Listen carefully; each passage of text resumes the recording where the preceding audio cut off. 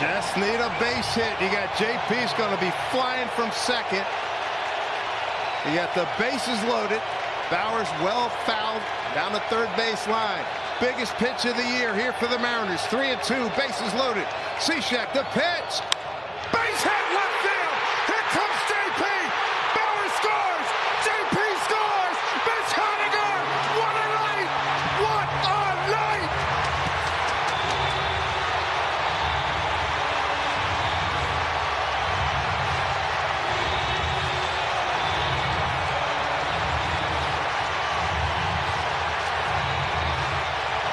telling you, hey now, hey now, hey now. Haniger. Wow. Hey guys, Sea Us uh, Rise Seattle here. I almost muffed that one. Um, I know I've you know we've already talked about the season and the Mariners and a little bit about what I believe they can do in the next couple of years, or even just next year in general. This year is specifically, or this video is specifically about next year. And we're going to be talking about someone people completely, I mean, completely forget about. And it's going to be, to be a 30 year old. It's to be the 30 year old Ken Giles people forget that we signed him this last year. But he, you know, he's recovering from Tommy John. And, you know, it's, you know, not something we were, we were really honestly paying attention to. But people honestly forget about this guy. And I'm thinking, I can make a video about this. And I'm doing that right now.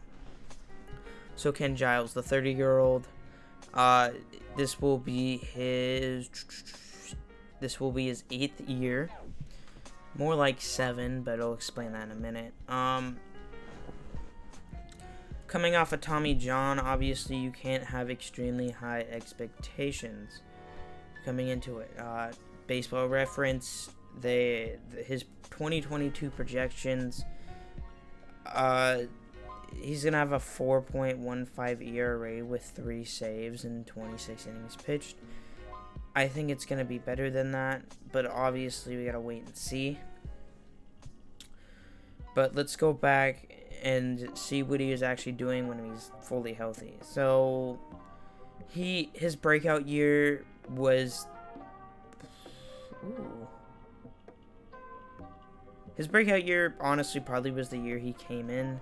In 2014 as a Philadelphia Philly, where in 45 and two thirds innings pitched, he uh, he had an ERA of 1.185 with a FIP of 1.34, or yeah, FIP, and um, he yeah um, phenomenal. And then the next year, he pitched 70 innings uh, with a 1.8 ERA, uh, with a FIP at 2.13. So, yeah, he came in and dominated, and then he got traded to Houston and kind of sucked. He had a 4.11 ERA for a reliever. Not not too good for a starter. That's decent, but for a reliever, that's not too good. And then in 2017, he went back down a little bit to a 2.3 ERA with a FIP of 2.39. So he had a solid season there in 2017. And then in 2018, he was on two teams. The teams were um,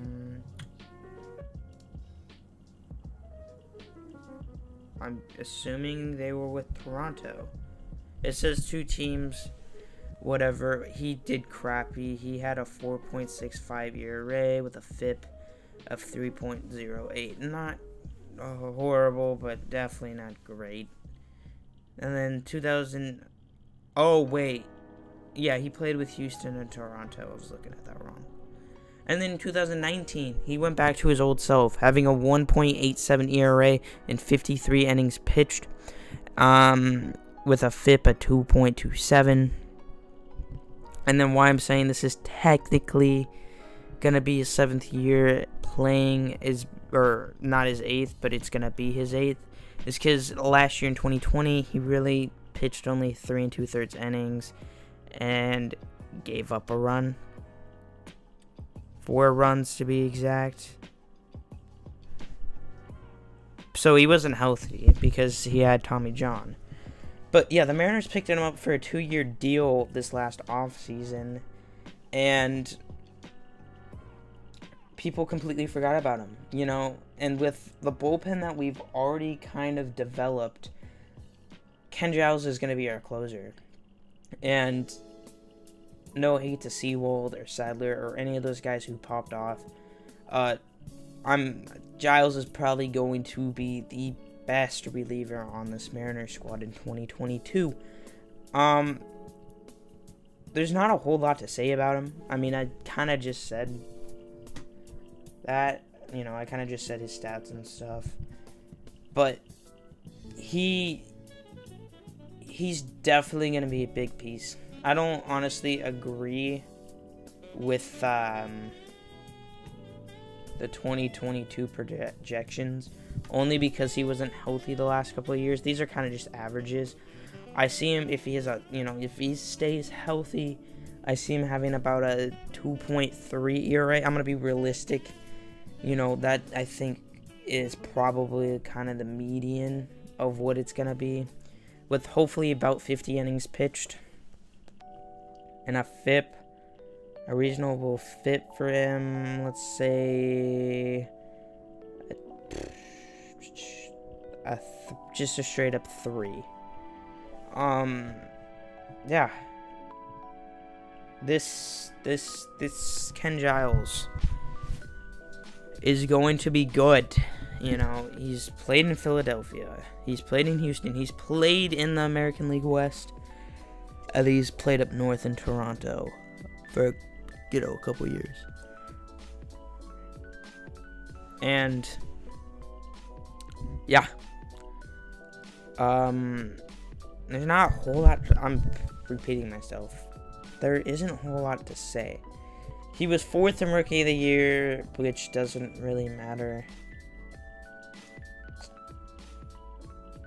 How much are we paying him this year?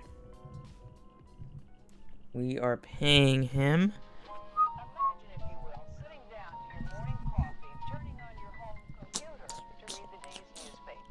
Probably a couple million. I'm sounding like a, a, a retard.